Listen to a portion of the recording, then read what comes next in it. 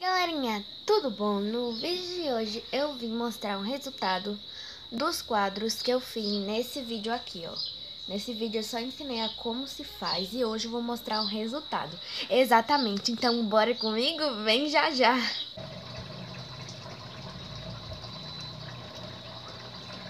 Aqui, pessoal, olha, tá seco, ó. Esse daqui ficou no formato...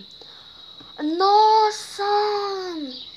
Ficou naquele formato daquela batatinha palha. Não, batatinha palha não.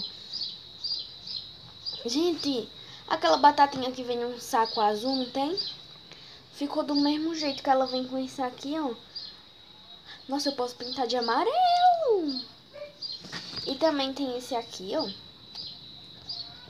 Que ficou parecido também por causa do papelão com isso aqui. Aí ficou essas partezinhas assim.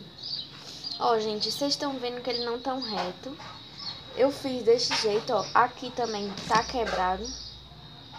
E eu também vou ensinar outro vídeo a como fazer isso aqui. Esse pedaço quebrado, ó. É fazer outro, tá? Olha isso, galera. Meu Deus do céu. Aproveitando que eu já tô aqui mostrando os dois quadros, o resultado, eu vou mostrar os meus outros quadros.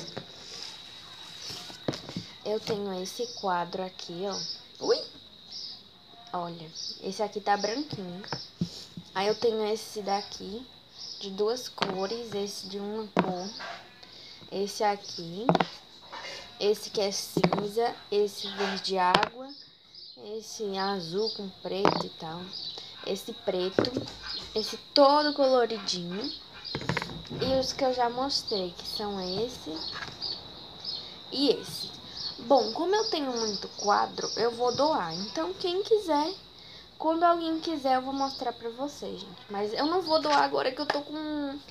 Eu tô apegada a eles. Então, depois, em outro vídeo, eu dou, tá bom?